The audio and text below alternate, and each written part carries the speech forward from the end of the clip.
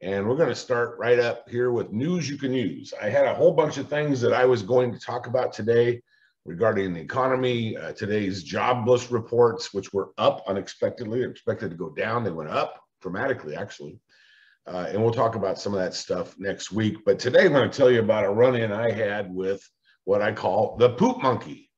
Now, I've been known for all kinds of phrases and terms. In fact, there was a big thing going on Facebook today about uh, knuckle draggers, window lickers, and kangaroos. And that's what I call customers who are just out there to get a price from you. But I had a run in today with the poop monkey. And this will be uh, one of the better news you can use because this will show you a trick that I've used over the years to get things sold when other people can't get them sold. Uh, first of all, a real story that happened to us, and I will, I'm going to write it up here on the board so you guys can see it. Sorry, Poop Monkey has to go bye-bye. Uh, we had a house that we sold, uh, and it was, or it's in escrow, and uh, we sold it for 220K, but the buyer was going to use FHA. Now, we'll talk about that in a second. Um, well, I'm not talking about it in a second, talk about it right now. When you get into this kind of market that we're getting into, where you've got uh, higher interest rates, you've got a lot more sellers wanting to sell their property, a lot more choices for buyers, and you got the buyers all sitting on the sidelines thinking they can't afford a house because the interest rates are high. When that happens, the lender of last resort becomes the lender of first choice, and today that's FHA.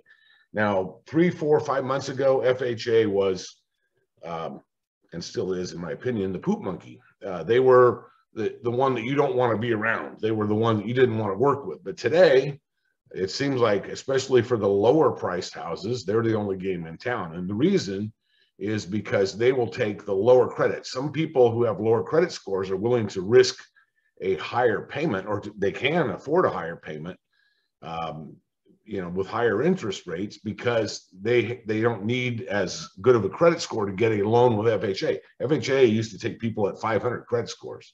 I don't know what the minimum is today, but the dollars are up, the credit scores are down, and people can get an FHA loan. And so a lot of times over the last three, four, five years, most of us who are selling houses would reject loans from like VA or FHA because they were problematic. They ask for everything to be perfect. Um, you know, they've got all of this detailed things that everybody else would pass on. Regular lenders would say, we don't need an appraisal. We don't need to make sure everything's in great shape. We don't need to make sure the water heater is brand new, all of this stuff. FHA is going to require all that. Check it off, check, check, check. But FHA has their own rules. And there is a way to beat FHA at their own game, and it's to know how they play. So that leads me to today's story. What happened was we sold this house for 220K. Now, FHA has a two appraisal deal. And so they came in, they did two appraisals. One came in at 223 and one came in at 212. Okay, so appraisal one, number one, number two the rule says if you have an appraisal, uh, if the two appraisals are separated by more than 5%, then you've got to use the lower number. The, the seller must change their sales price. Now remember, our sales price was 220, not 223, not 212. It was 220. Two, three months ago, that would have been it no matter what. There's no negotiation. It's I don't care what your appraisal is, I don't care who your lender is you know, but we took this loan knowing that it was over what we were asking. We were only asking 199.5. So we got 20,000, 10% over market. Uh, and these are what the two appraisals came in for 223, 2, 212. The rule says if these two appraisals are separated by more than 5% plus 5%, you've got to go with the lower number. In other words, we'd have to drop our price, right? So these are the, and so we got these back and they said, you're going to have to sell your house for 212 because, uh, and here's our rules, blah, blah, blah. Well, somebody must not be using a calculator that goes out two places because uh, the difference here, this is, this comes out to 95. Let's do the exact math. Uh, 5% actually would be 211,850. 211,850. So these numbers are separated by less than 5%, not more than 5%. So we called their their stuff. We called their shiz on them and we said, listen, this is not over 5% separation between high and low. This is in fact, you know, 4.9% or something like that. It's it's sub 5%. You can't require us to go to the lower price. In fact, per your rules, we can raise the price to 223. And they, the, the lender, the loan officer said, no, uh, we're, we're making you do this. Well, this is a federal deal. This is not the state that we're doing business in. This is a federal rule. So we called poop monkey on them and we said, listen, you, you got to stick by your rules. These are the federal governed rules. And if you can't do the math, we've done it for you. The number that would represent 5% be $211,850. This was above that. So in other words, the separation between here and here, which is 5%, this 212 was in between. So we throw out the 212. We can charge 223. We're willing to close for 220. And they're like, no, no, you got to do 212,000. We're like, you know, forget that. We're not doing it. So we called their boss and then we called they're the boss. And I'll let you know how this thing goes out by next week, but they are trying to rewrite the rules and they're trying to force the market down. Uh, we're not going to let that happen. We're going to stay on this one. If I have to, we'll bump this seller, I mean, this buyer, and we'll go sell it to somebody else just for principle. And these guys will be out. Uh, but all of the other contingencies have been done, waived, everything, inspection was perfect, everything was fine. Uh, and this is a case of the government sticking their nose where it shouldn't be and literally trying to force a change in the marketplace. We're not going to stand for it. So those of you who are watching this down the road on YouTube channel, uh, make sure that you check the math because evidently the guys who write FHA loans don't have two places in their calculator to know. They just round up and they say it's over 5%. We're not doing that. So here's the game plan going forward. Uh, what you guys could do. Um, so hopefully that's that's clear and I can answer questions if, if we don't understand that. But the game plan going forward uh, on these types of projects, uh, if you've got to use FHA, you can do something and we can play their own game with them. They have to use comps and the old comps go back six months. So in the last six months, what, what have we had happen? Prices have been high, all-time high.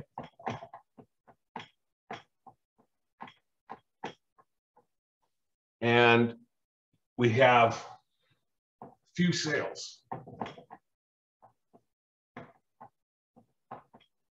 So when you have high prices and few sales, they have to use what's there and what's available. And if they can't find it in the right geographic area, they have to go further and further out. So it allows you to sell a house, an FHA loan right now, the, the plus side is it will allow you to sell a house at higher than the market is today. So that's what we we did. Uh, you, if you guys are selling a house, make sure you tell your realtor, listen, you think it's worth 200,000, I want you to mark it up 10% because you may have to give some of that back. You may end up having one of these kind of things that we just had happen happen where uh, FHA tries to rewrite their rules. Um, and but more than likely, you're going to get a comp that's going to come in okay. You're going to be all right on this deal. So try and get a non-FHA loan. And if that doesn't work, what you can do is just raise your price at the beginning and charge more because the buyers out there who use FHA loans, they're like the buy here, pay here car people. They don't care about what the price is. They care about how much they got to put down, what's their monthly payment going to be. And you can fix that by raising, you can take some of these other problems you can run into with an FHA loan by charging more. So definitely mark it up beyond what your realtor may say. You're going to have to do your own research, find those top comps and go at those top comps. They're allowed to actually go above those top comps. They may not. So go literally right to the top comp. Doesn't mean you're going to get all of that. You know, they may ask for a seller concession in the loan, 6% buyer, seller pay down, that kind of thing. Now that's uh, that that's one trick. They've got to use comps based on the past, and you can sell for over the market price. That compensates you for some of the issues. The bigger issue, though, is you've got a lot of buyers out there who don't want to get into the game and buy property right now because they think they're priced out. It is a mass hysteria created by the news media and all these things that you see out there saying, you know, prices uh, are ridiculously high. They're not, they're coming down. And interest rates are so expensive, nobody can afford it. Nobody does the math and actually checks to make sure if that's correct. But one of the things you can do, um, and I would definitely look at this going forward, is something that I did about 15 years ago. Actually, it was probably in 2002. So it'd be 20 years ago. And then I did it again about seven or eight years ago. And I ran it by a bunch of lenders again, this go round, and they were all, most of these guys weren't around then. And so they're like, that's brilliant, but we don't know if it'll work. We'll check. Everybody who's come back said, yeah, there's no reason you can't do that. So, uh, for lack of a better term, we'll call this the Jeffro maneuver. And this thing goes like this you can sell a house and you can buy down your buyer's points. You can buy down your buyer's interest rate with a one time payment to the lender. So, the, the way we did this a few years ago, one of the first ones I did, um, looked like this. The house was $300,000 is what we wanted for it. The market had dropped to 270. It dropped 10%. We see that right now. We see that kind of market all around right now. Um, and but we didn't want to to start here because we knew most of the market was FHA. We wanted to start up here. so what we did is we said we'll sell it at 300 and then we'll put $10,000 directly to your lender. We'll give $10,000 of that directly from your lender to buy down the points. They were coming in with like a six, six and a half percent loan. They were like complaining they had to have a cheaper price because of the expensive loan. What we said is, you know what? How about we sell this with a 4% loan on it so your payments will be low? Now, what that does is that once again, it drops their payments. It allows you to get more. We had comp support at this number uh, even though the market was at this number. This is exactly what we got going today. You've got comp support, higher number. You've got realistic market numbers, lower. Uh, we were able to sell this. They, they accepted that. And so we got, crossed off all this stuff. We got 290K and we got the buyer a 4% loan at that time. And they were tickled to death. Took it one step further. That was probably the first one that we did. We took it a step further and we instructed our real estate agent to list our properties on the market by by saying that this loan, uh, this house will sell with our loan a four percent interest, four percent fixed rate loans. So we were able to be at the top of the chart, and every freaking real estate agent in the area that we were selling in was pumping to sell our house because our house was the smoking hot first thing that anybody saw. Now this was before all these things today where you can look up these houses online, see what they are. So we even have a greater opportunity to sway the masses today. But I think this is going to be the thing that will really spur this market back on if we can make this a national trend. Um, and, and lenders may or may not like it. It doesn't matter. It's legal at this point in time. It also allows you to bump the FHA. You can tell people, listen, we've got this, this house comes with its own loan. It's 4% fixed rate loan we're not taking FHA loans. You've got to use our lender. Part of the way you can get some of that $10,000 you're paying back is you can get that lender to give you a referral fee. I don't know the legalities. That's a state by state thing. Back then, we could take referral fees.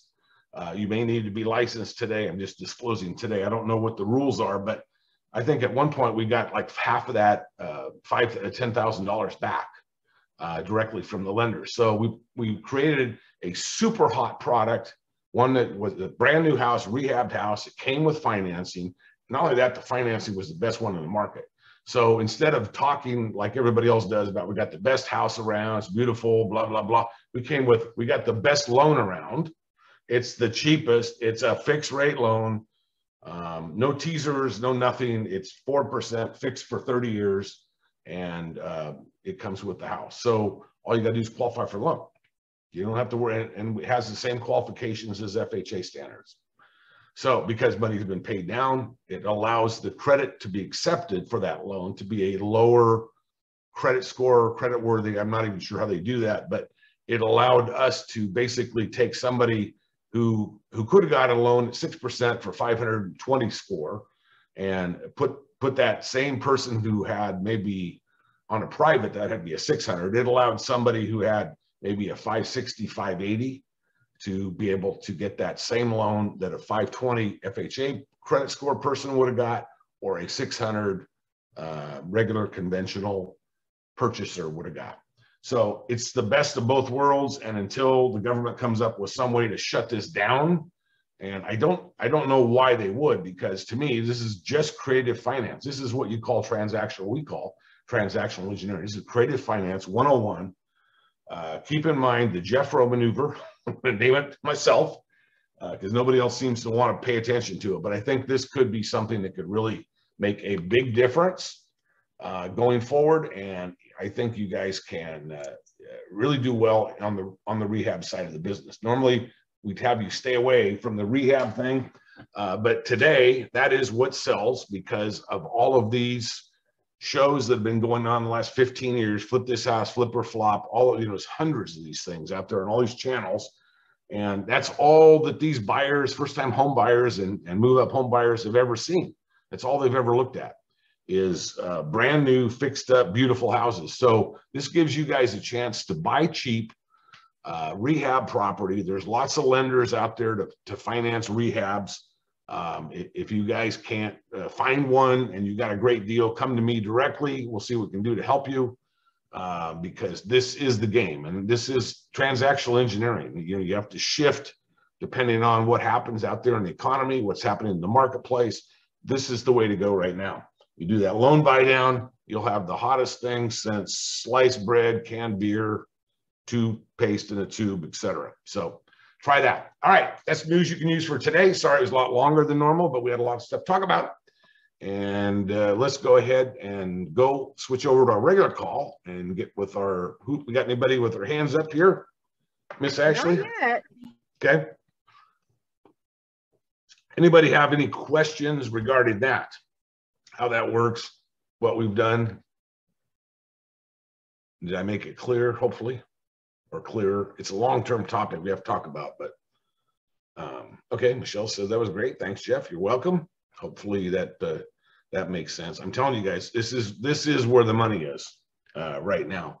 And don't be afraid. You know, if somebody tells you, like we were told by this uh, lender for FHA, that this is, you know, we're going to drop that price. No, you're not because uh, you got to follow your own rules too. You can't just arbitrarily get involved, even if you're the federal government. If you get involved in our contract, uh, you've what's you've created what's called tortious interference with our legal agreement between us and the buyer, um, and we will come after you for that. Now, you know who wins coming after the federal government? Nobody that I've heard of, but you can.